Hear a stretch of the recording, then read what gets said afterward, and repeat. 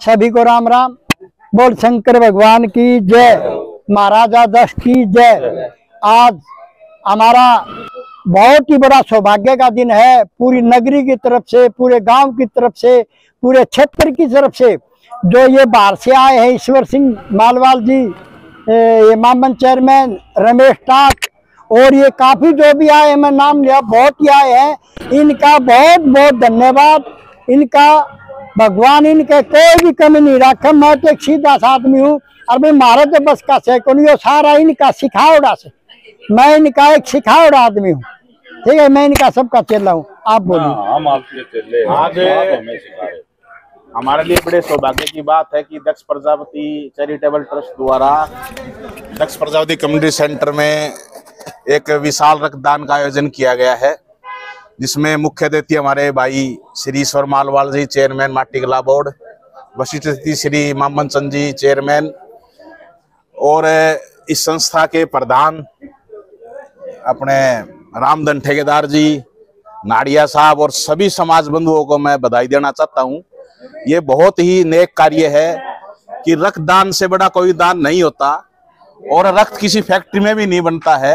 तो मेरी सभी युवा साथियों से यही अपील है कि इस प्रकार के शिविर लगते रहने चाहिए और युवाओं को आगे बढ़कर रक्तदान करना चाहिए, ताकि इस रक्तदान से हम बहुतों की ज़िंदगी बचा सकते हैं। ये रक्तदान डेंगू के मरीजों के लिए, कैंसर के लिए काम आता है।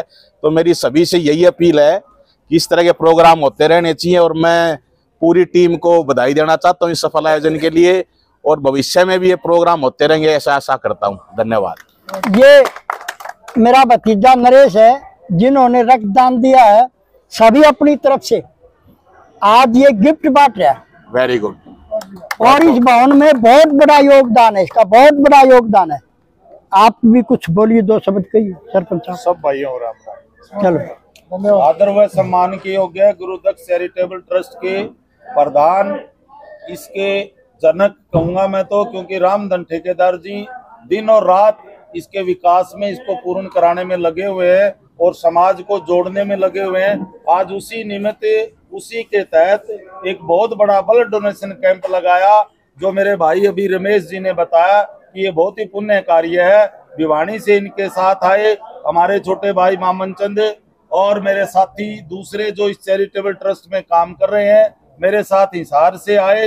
राउतक फाउंडेशन के चेयरमैन चौधरी नाल सिंह जी जो कि फ़र्स्ट एनजीओ का खिताब जीते हुए हैं तो मैं भी सबकी ओर से यहाँ आने वाले अतिथियों का, क्योंकि गुरुदक्ष प्रजापति के हम संतान हैं, सारे एक परिवार के सदस्य हैं, उनका हार्दिक अभिनंदन और स्वागत करते हैं, और आभार इस बात का करता हूँ कि इन्होंने अपने छोटे भाई को बेटे को बुला करके जो मान सम्मान दिया, और मैं हमेशा हमेशा के लिए जब भी आप मुझे याद करेंगे, और जो मेरे लायक जो सेवा कहेंगे, मुझे एक बात का बड़ा फकर है कि इस मौके पर, इस स्थान पर इतना बढ़िया भवन गुरु दक्ष प्रजापति के नाम से इन लोगों ने खड़ा किया तो मैं किन बातों की इनकी सराहना करूँ? मैं तो एक ही बात कहूँगा, जब जब मेरी ज़रूरत पड़ेगी, मैं दिल और जान से इनके साथ रहूँगा।